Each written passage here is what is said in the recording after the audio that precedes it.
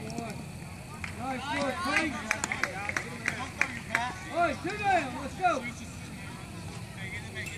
go.